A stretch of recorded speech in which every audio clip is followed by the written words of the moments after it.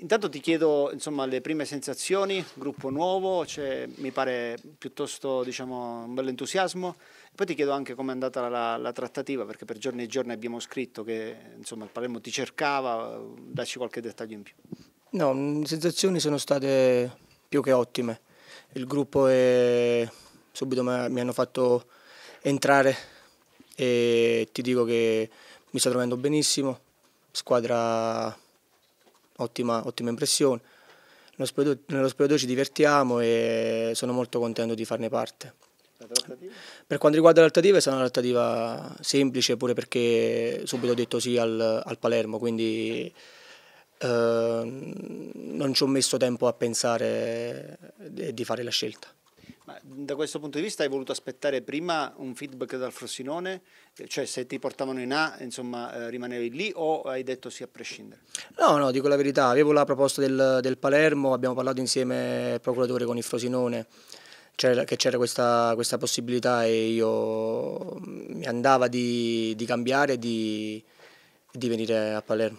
Dal punto di vista tattico eh, il fatto che Corini si stia orientando sul 4-3-3 è anche per eh, venire incontro alle tue esigenze, cioè nel senso che eh, ha preso un esterno, ne ha un altro che è Di Mariano, quindi da questo punto di vista, però abbiamo visto anche messo esterno alto nel 3-5-2, ecco, eh, tu se dovessi in qualche modo eh, descriverti da questo punto di vista? Beh, io ho sempre fatto l'esterno a destra nel 4-3, però sono, sono, completamente a disposizione del mister, del, della squadra per eh, per, fare, per, fare, per, dare una mano e per fare bene, quindi dove il mister mi chiedeva di giocare la giocherò. Un'ultima cosa ti chiedo, eh, l'accoglienza che ti ha riservato Lucioni, che insomma immagino vi sarete sentiti nei giorni precedenti, e poi cosa ti ha detto tuo fratello, se ti ha detto qualcosa a proposito di questa tua nuova avventura? Beh, con Fabio ci siamo sentiti quasi sempre, da quando abbiamo finito il campionato a, a un giorno prima che arrivavo qui, quindi con Fabio l'anno scorso abbiamo, vinto, abbiamo mm, trascorso un anno, un anno, fantastico, quindi speriamo di, di ripeterlo e di, di, divertirci soprattutto e cercare di fare, di fare bene.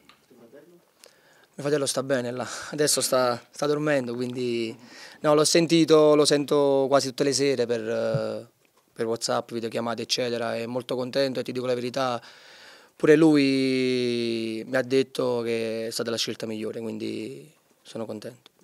Grazie. Alessandro Amato TRM, hai giocato in carriera una trentina di partite in Serie A, cosa ti è mancato per fare di più se è mancato qualcosa? Eh, cosa pensi di dover colmare per arrivare a un livello che vedendoti giocare, non in allenamento in questi giorni ma nelle passate stagioni in campionato, sembra che possa essere da te raggiungibile? No, raggiungibile no, ti dico la verità, eh, non non, eh, non, lo so, mi cogli un po'. Ho detto raggiungibile, ah, scusami, non okay. irraggiungibile. Ah, okay, Sembra proprio la tua portata, però quel numero 30 è piccolo rispetto ah, sicur- alle tue potenzialità. Sicuramente, no, sicuramente... Eh, non hai sentito le prime due no, lettere no, che sono molto male, importanti. Scusa. No, sicuramente quando l'ho fatto era, ero, non ero così maturo come, come adesso, dico la verità. E, e magari arrivarci adesso con la maturità giusta che ho adesso, secondo me le, le presenze aumenterebbero tranquillamente.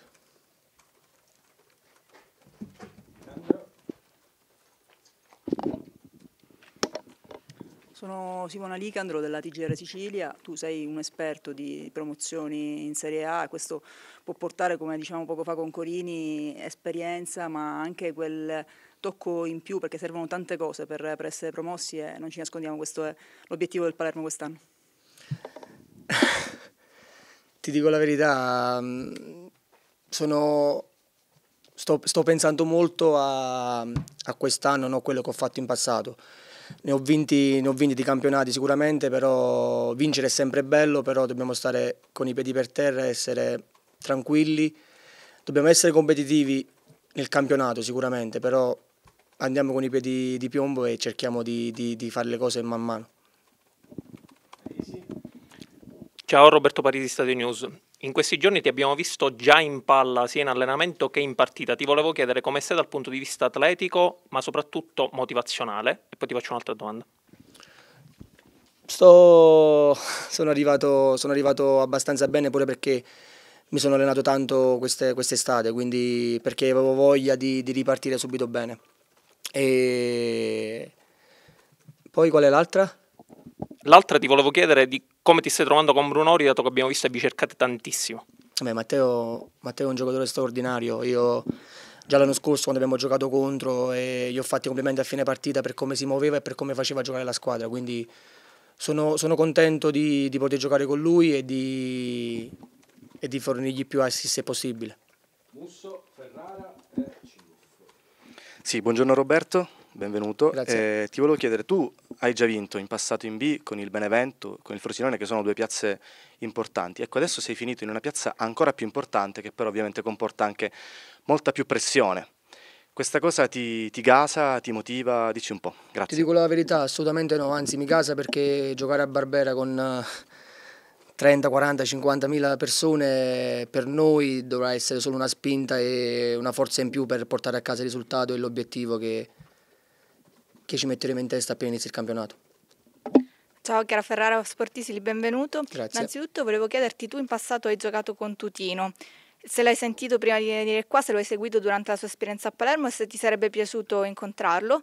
E poi un'altra curiosità. Sicuramente sì, perché con Gennaro ho fatto anche il settore giovanile insieme con il Napoli, quindi un ragazzo che conosco benissimo sia in campo che fuori, un ragazzo d'oro e mi sarebbe piaciuto molto, dico la verità. E per quanto riguarda, sì, l'ho sentito appena ho firmato per alcune cose e lui mi ha detto che ho fatto la scelta migliore perché si è trovato benissimo sia lui che la famiglia, quindi su questo piano qua sia io che mia moglie e le bimbe siamo tranquillissime e non vediamo l'ora di, di arrivare a Palermo. Mi hai dato l'agganzo, tu sei cresciuto in una piazza colorosa come Napoli che quest'anno è tornata allo scudetto dopo tanto tempo. Secondo te, considerando le prospettive e l'ottica del City Group, quanto tempo ci vorrà, quanti anni ci vorranno per, affinché Palermo possa sognare lo scudetto e possa essere competitiva per lo scudetto?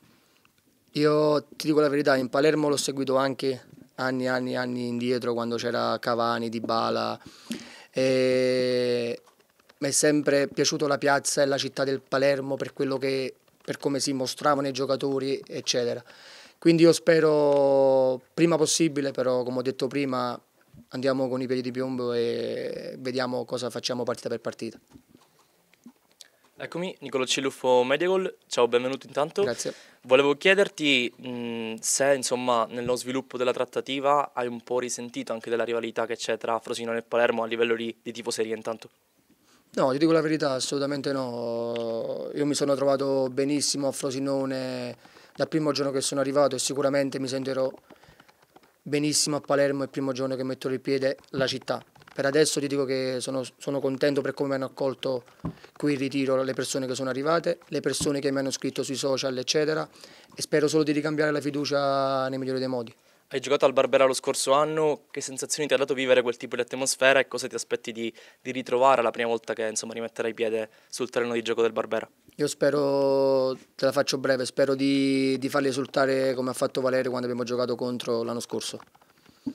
Per chiudere, eh, volevo chiederti se nel corso della tua carriera il paragone, anche a livello insomma, mediatico, con tuo fratello Lorenzo costituisce un motivo di pressione oppure insomma, uno stimolo per fare sempre meglio? Grazie. Non è né uno stimolo né una, pre- una pressione, ma solo un motivo di orgoglio di avere un fratello del genere, dico la verità.